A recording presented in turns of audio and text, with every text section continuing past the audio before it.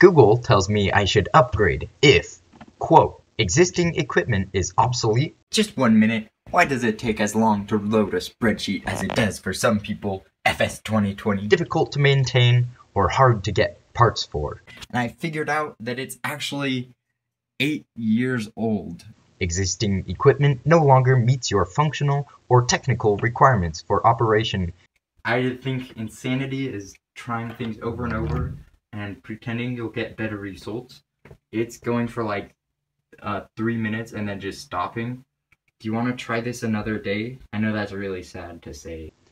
Google also says some other reasons are the cost of maintenance,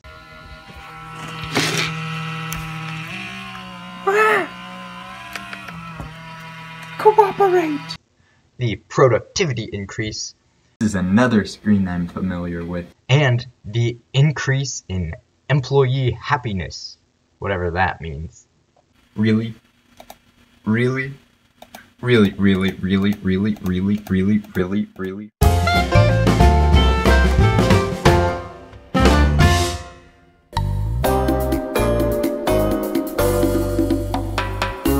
Ready? Let's launch Cura.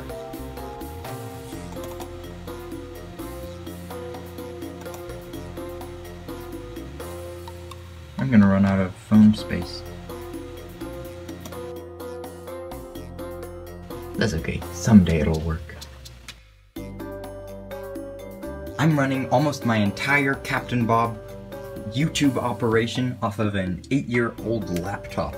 Uh, you'll see its battery is even starting to puff out because it's been overcharged, and its fan is almost continuously running, which is really bad for the fan, uh, really bad for the computer, and it's basically on its last leg.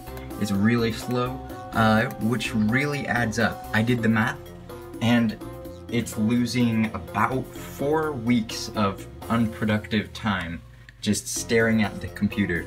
So, this is pretty urgent, as I do have online school, so I'm going to be building my own computer.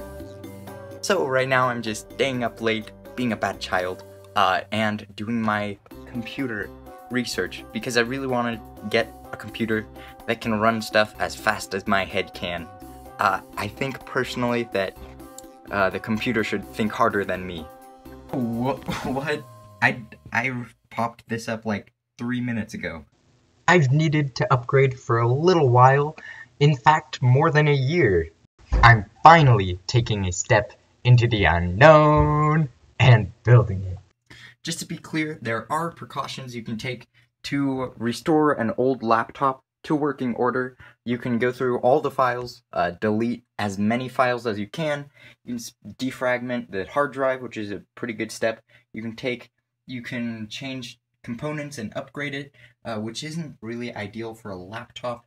You can, uh, you can decrease your settings so it doesn't render visuals. You can do a lot of things to speed it up restart it often, turn it off, uh, like set a schedule to restart it so it restarts often, uh, run, make it run on its best battery settings. Uh, but even after doing quite a bit of those, it is still just slow as molasses, which is really sad. I will be fair to this. It is a pretty good computer for everything I've put it through.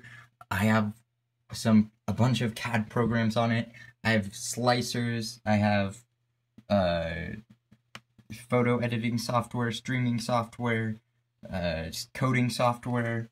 There's uh, Fusion 360, which is huge. Notion, Grbl Control, uh, so CNC stuff, homework apps.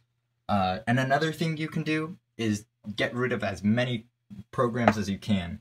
I've already done this, and I'm operating off of uh, basically my minimum. There are a few apps that I've kept, even though they're not used frequently. So, my goal tonight is to kind of transform this, do all my research for my first PC build, uh, and upgrade this setup. After that, I think it'll just be so much easier to edit videos.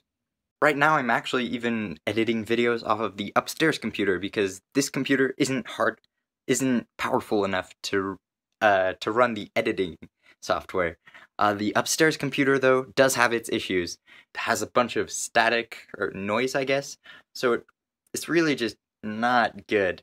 It's very seldom that I get an opportunity to edit because my schedule doesn't always align with the computer availability schedule. Schedule. I bet you're wondering what my current PC specs are. Uh, I typed it in. It doesn't look like it's loading actually, so I'll have to type it in again. Uh, this will give you a, a little bit of a rough estimate by just seeing this. Hello. Can't see me. Hello. Yep, it's still loading. Um, yeah, whenever you're ready. Yep. Whenever you're ready. Oh, it's in... It literally crashed settings. Okay, so here are my device specifications. Uh, you'll see right here. It's an i5 processor, which is, uh, I guess doable. It's not the most up to date, and it certainly cannot run Microsoft Flight Simulator. There's 8 gigabytes RAM. I don't think my editor can run with 8 gigabytes RAM. Uh, yeah. But the thing I do like about it is the touch, the touch screen. That's beautiful. It it runs on Windows 10, and I figured out that it's actually eight years old. Yeah, it is almost as old as my brother. Get this, my computer was actually alive before the world fell apart. What I started out doing was getting a Google Doc and watching YouTube videos and gradually filling out all of the links, tips, papers, their PC specs, and just getting it all into one place. I just went down, searched best gaming PC, and went down the list to see some familiar faces and some people that look like they're having too much fun. This guy looks kinda familiar. We'll watch this one. Then I filled it all out, and I have lots of links. I'll actually share the paper with you. It's just where I dumped all my research into one document. It has a few tips, and I'll link to it in the description below. My favorite tip is about the graphics cards the higher number the better. And also, the more expensive, the better. I think I found the best PC case. Ready? Right here. It's perfect. It has a lot of aeration and ventilation, so it's good for cooling. Um, it's cheap. I could probably put the motherboard next to one of these these these holes, and it'd have good circular cooling, and it's cheap. And um, did, did it's cheap? What I did with my spreadsheet was I basically went through a bunch of videos and basically took their components, uh, added them all up for price, and so here are three different setups that I got from people's videos. Uh, but I also made a very big point to not just go off of these numbers, but to also know what they, all of this means and know how much all of this should cost and the performance I'm going to get out of it. So, after I have these three options, one for about 600, one for 1000, and one for about 800, I put it into a all into one sheet and now I can sift through which components I want and which ones are just kind of extra fluff that won't be needed and which ones are too low. So the good old gold, Goldilocks rule. Gotta get the components that are just right and fit my needs, but I also want to make sure that this is an upgradable computer uh, and serves my purposes that I need it for. The put it together page now looks something like this. I highlighted all of my parts. The bippity boppity boo page looks like this, and it has all of my computer parts, the ones I've ordered, and it has this pie chart to see what proportion of the money. Mine is a little bit imbalanced, and I'm going to spend more on the graphics card and CPU than probably good. Okay, it is 152, and right now I'm just doing some research uh, on all the computer components. Uh, so I put together this fancy spreadsheet. And I have all the tabs here where I can compare parts, uh, compare components, and look for the best ones. There's also some options. I'll try to share this spreadsheet if I can. I can't spell Saturday, apparently. I'm gonna go to bed. We'll, we'll call it a night. I bet I can show you just how much my computer has slowed in the last year by just going to Lifetime and seeing kind of like how many videos have been posted.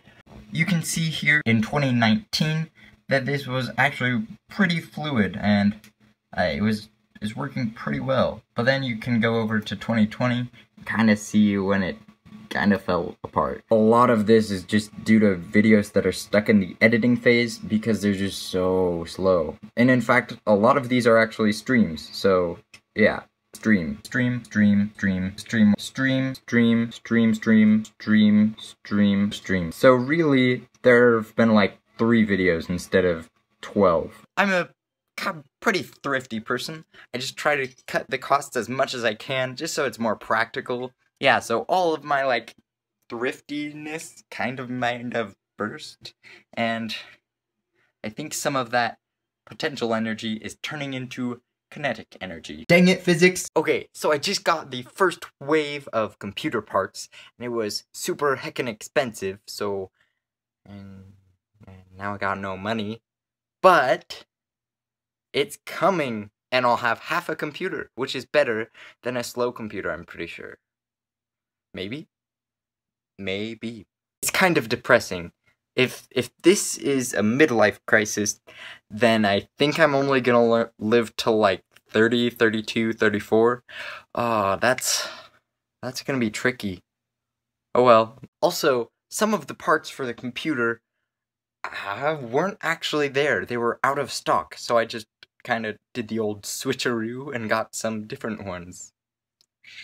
Want to give a huge thank you to everyone who has helped me with this project. There have been tons of people in the Discord server who have helped me select parts, give me advice, tell me when I'm doing stupid, because I do stupid a lot, uh, and just generally helping me out.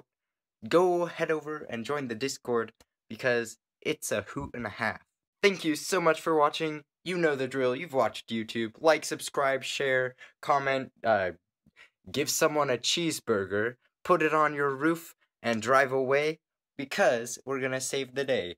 Check out some of my other videos, and I'm actually starting a series where I build my simulator. Start to finish, I'm introducing it in kind of a different video.